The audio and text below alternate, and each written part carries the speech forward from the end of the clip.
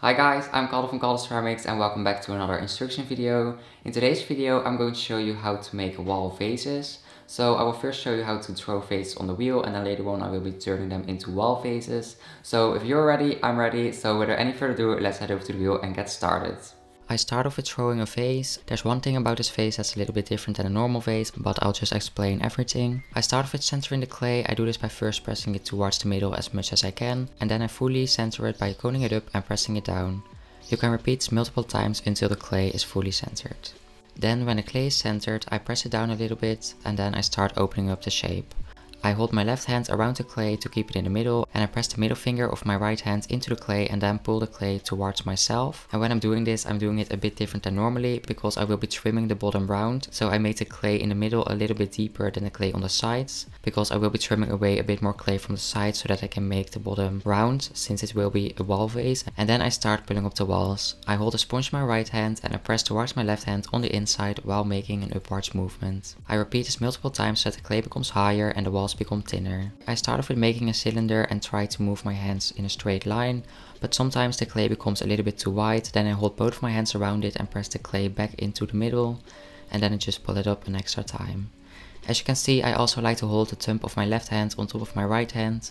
This way it's easy for me to move both of my hands at the same time. And just like that I go over it a few times to make the clay nice and thin and to get the height that I want and then I start defining the shape a little bit more. You can make these wall faces in any shape you'd like, but I'm going for a pretty basic face shape this time. So I decided to give it a little bit of a thinner neck, so I pressed the clay at the top inwards a bit by just holding my hands around it and then moving them inwards. And I decided to make the belly or like the side a little bit wider. So I pressed from the inside outwards with my left hand towards my right hand on the outside and I just held sponge there to make sure that the clay didn't stick to my fingers. And just like that I change the shape slowly. And just like I said you can make this in any form you'd like. I would recommend to not make the opening too small because we will be cutting it in half. So the opening will become smaller since it's going to be a wall vase. So you might like to make it a bit wider than you normally do if you still want to be able to put a good amount of flowers into it. And just like this I slowly define the shape. I saw that my rim was a little bit wobbly so I took my needle tool and I slowly pressed it into the clay to cut off a little bit of clay from the top to make it nice and straight again. And then I went over it with my fingers to smooth it out and make it nice and round. And then the shape was finished and I went over it with the sponge to get rid of any water or slip that was still on the piece. And I also got rid of the water and slip on the inside by going over it with a sponge that's attached to a stick.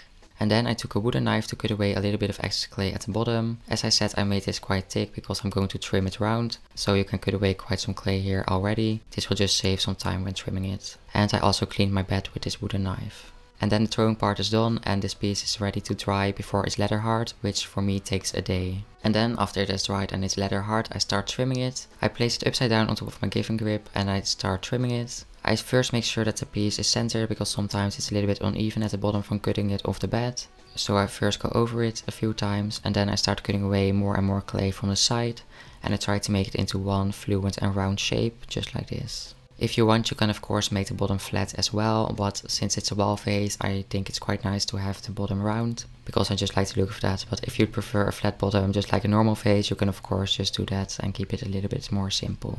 And just like this, I go over it with a trimming tool from the top to the bottom and from the bottom to the top.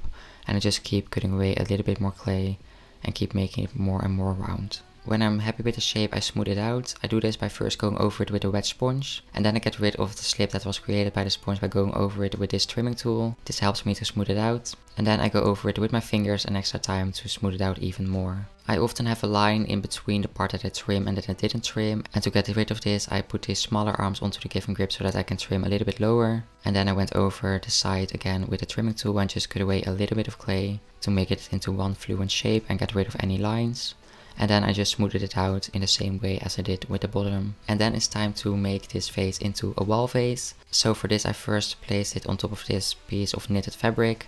This is just an easy way to hold it. You can of course also ask someone else to hold it, but this is just an easy way to hold it for yourself. I take my wire tool and try to cut it in half.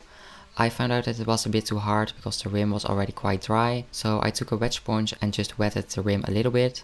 Doesn't have to be that much, just a little bit already makes the clay a bit softer. And that way I was able to cut through the rim and cut the whole vase in half. You can decide yourself where you want to cut it. I decided to cut it a little bit more towards one side because I'm only going to turn this into one wall vase. But if you'd like you can also cut it perfectly in the middle and then turn one thrown vase into two wall vases. But I like it to be a little bit more round, so to have a little bit more clay than just the half of the vase.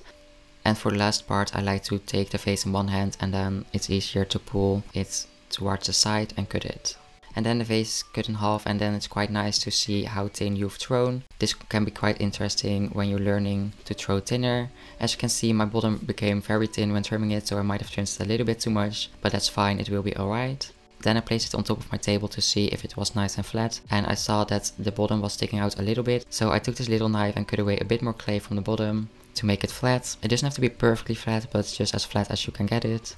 If you were wondering why I placed the face straight up and not upside down when cutting it, here's an example where I tried to cut it upside down. Um, yes, didn't really work out. so, and then, and then we go on with the wall vase. Um, to be able to attach to the wall and still be able to put some flowers in it, we have to make a back for the vase. So for this I first roll out some clay and I roll it out quite thin. You can of course roll it out as thin as you'd like, but I make it about half a centimeter I think, 5 or 6 millimeters. And then I placed my vase on top of it and then I take the little knife again and I mark where I need to cut the clay. And then I take away the vase and I cut the clay into the shape that I just marked. And for the top here you can decide yourself what shape you'd like to give it. If you want, you can make this top part here into a circle that's like sticking out above the vase. And then you can make a hole in this to hang it.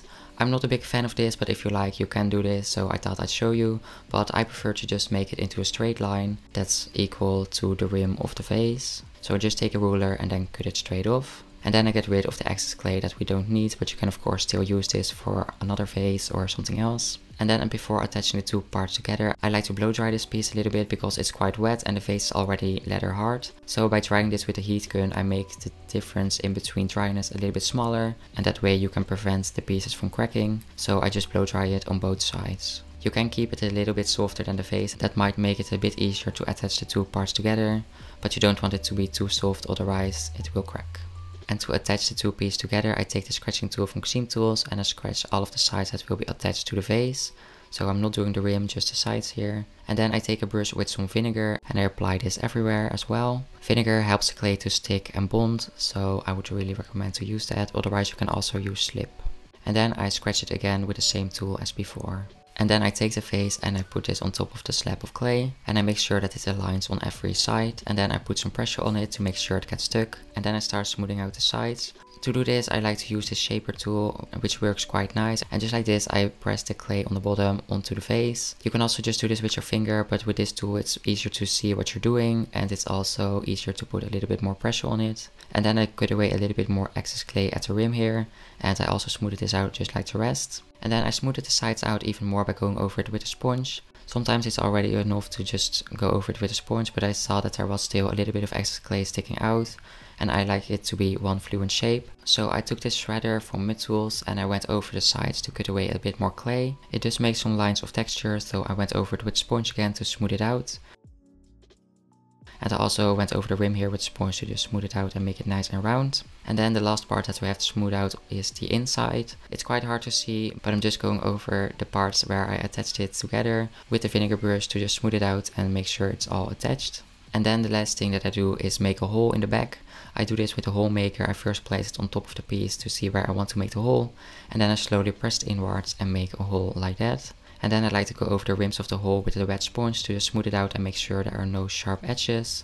And then the piece is finished and ready to dry before biscuit fire. After it has been biscuit fired I started glazing it and I actually made two wall vases and I will show you how I glazed both of them. I started with three coats all over the inside and the outside with the glaze eggplant from Mayco. I'm not glazing the back of the vase because I will be placing it on top of that into the kiln and you don't want the glaze to melt onto your kiln shelf. So three coats of eggplant from Mayco all over the piece on both of the vases and it's important to let the glaze dry in between coats. And the second glaze that I'm going to use on one of the vases is Lavender Mist, also from Mayco. And I'm applying this only on the outside. If you want, you can also put it on the inside, but you don't really see it. So I just put it on the outside and I keep a little rim unglazed with this glaze on the sides because I wasn't sure if it was going to run in the kiln. And with this glaze, I glazed the whole outside for two coats and then I applied a third coat only on the top part just to add a little bit more color here and also because I wasn't sure if I was going to run if I would glaze the whole piece with three coats.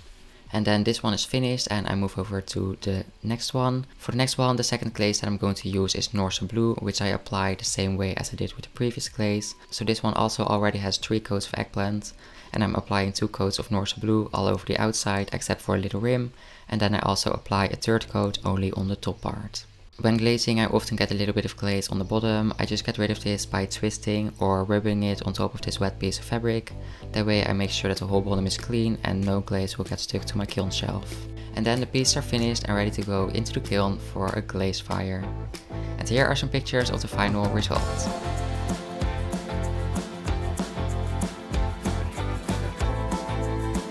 That was it for this video. Thank you very much for watching. I hope you liked it and learned something new from it. If so, please give this video a thumbs up and subscribe to my channel if you haven't done it yet. And if you're going to make these wall faces yourself and going to post them on Instagram, please tag me at Carlos because I would love to see them. I hope to see you next week. Bye!